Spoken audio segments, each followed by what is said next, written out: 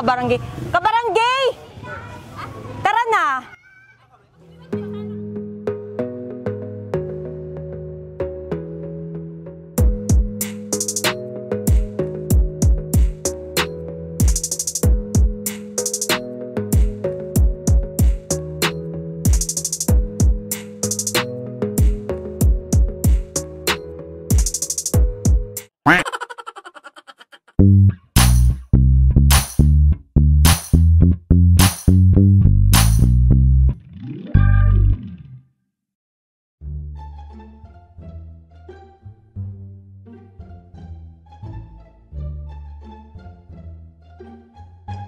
Hello, hello, hello. Hinahanap ko si Maricar. Tao po. Pwede po ba kay Maricar? Pasok po. Tao po. Pasok po. Tao po. Hello po. Pasok po, sige po. Hello po. Parang kilala ko si ate. Sir, yun si ate ano. Pwede po bang pumasok? Sige po, pasok po.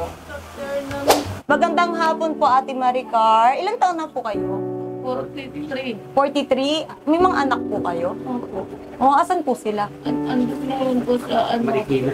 Ah, sino pong kasama nyo dito? Saan po kami? Oh, ano pong nangyari sa inyo? Cervical cancer. Ano po? Cervical cancer. Ah. stage. Ah, talaga po. Oh, Wala nang mamagay pa. nakakalakad pa po ba? Hindi na po. Sila na.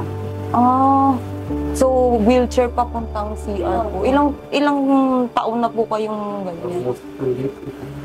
Dalawang taon. Ah, magdadalawang taon na po. Four? Four. 4B, 4B. May ABC po ba yun? Ah, wala tayong alam dun. wala tayong alam. Wait lang, ipasok muna natin yung grocery. Siyempre, nag- nag-invade tayo ng privacy. Dapat may regalo tayo kay Ate Maricar. Ayan! Handog po ni Sexy Kapitana. Dito ko na ilalagay. Tapos may pabigas po tayo.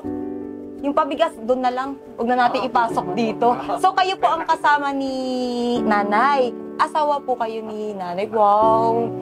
Ilang taon na po kayo mag-asawa? Ah, almost 25. 25 years. Wow! Ilan po ang anak niyo? Dalawa, tatlo sana kaso nagkaroon ng ectopic. Ah, Walang na sila. yung panganay, ilang taon na? 20. 20. Yung may anak, ay may asawa na. Po nag-aaral po sa junior college.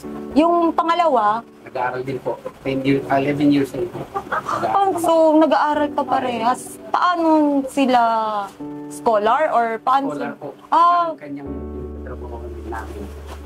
Ah, Doon sa bahay nung nag-work pa po kayo? hindi na po. Pero yung dati. Yung dati po, nung yung amo ko dati namin dalawa, yung siya po yung ipapaaral. Ah, ano pong work nyo dati? Sa bahay lang po. Ah, okay. Kayo rin po. Ako po, driver. Ah, so family driver po kayo. Oo, alam nyo, sobrang thank you sa mga drivers kasi sila ang humahawak ng buhay natin pag nasa daan. So, ano, ah, maging mabait tayo sa kanila at mahalin natin sila kasi sila yung sila yung um, pinaka-angel natin sa road. Wow, angel sa road. Tapos, syempre, yung mga kasama natin sa bahay, sila yung sila yung nag-aalaga sa atin, so mahalin natin sila. At ituring natin silang kapamilya na rin natin. Kasi syempre sila yung nag, nagluluto para sa atin, di ba? O, yung yung kasama namin sa bahay, masarap magluto. Yun lang sinabi, masarap magluto. At um, paano po pala kayo ngayon? Paano po kayo... Pwede kahit pa paano, pag minsan iniiwan ko siya, nag-drive ako pag na, Ah, nagda-drive pa rin po kayo? Tricycle? hindi po. sa- Family driver? Ah, okay. Pa extra extra na kasi hindi pwedeng iwan. Iwan si madam. Mm. Ano po makakapagpasaya kay nanay? Nakikita ko yung mga anak ko, masaya ako. Kung nakikita ka. Yung mga baby niyo po? Kasi, tapos, ano, basta pag panikita ko sasama mga kapatid ko, magsasama-sama, masama, masaya. Asan po ba yung mga kapatid? Bitan po. Oh. Kayo po ay bunso sa inyong magkakapatid. Ah, pares po tayo. sa amin lahat magkakapatid, wal, wal, walo, Walo. Walo kayo. pinabunso, ako pinabunso. Bunso po kayo. Tapos lahat sila may mga pamilya na din. Paano nyo po, paano po na diagnosed na may cancer si nanay? Ah, yung una po, siya eh. Buntis po, dinugo or Bas- hindi? Hindi siya buntis, basta dinugo lang siya. Nang parang regla ganon, Oo, pero tuloy-tuloy. Ah, Akala namin pag may menopause na dahil nasa 40 siya at that time. bleeding, ganon. Akala namin menopause kasi pag menopause daw po marami. Kaya Oh. pala, nung nalaman namin, dinala namin sa doctor sa hospital, eh, yung ca- cancer na pala. Kung na-diagnose. Stage 2 that time, 2 years, magto 2 years ago na yun. that time, Oo, stage 2 lang. Tapos, gumapang lang daw. gumapang Three, na. Anong sabi po ng doktor? Progressive. Nagpo-progress yung cancer. Hindi Siya siya, namamatay sa clinic. nag-chemo na rin po si nanay. na. Kaya tuloy-tuloy.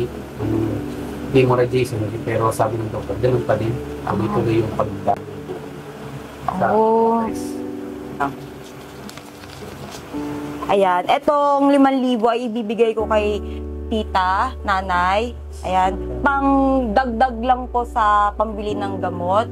At Salamat malit na bagay lang po yan. Pero ah, mananawagan na lang po tayo sa um, viewers natin na kung gustong, kung sino man may gustong tumulong pa kay, kay tita, um, pwede nyong kontakin si Sexy Kapitana. Ayan. Kung gusto nyong tumulong pa kay tita, ayan, ilalagay na lang namin lahat ng details kay Sexy Kapitana.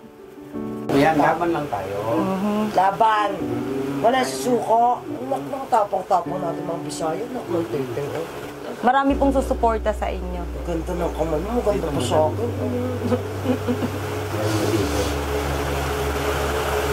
So ayun na nga guys, kung gusto nyong magpabot ng tulong kay tita, ate, nanay, Maricar, pwede nyong ilagay yung, ah, pwede kayong mag-message kay Sexy Kapitana at for more details, ilalagay na lang namin sa baba. Ayan. Thank you!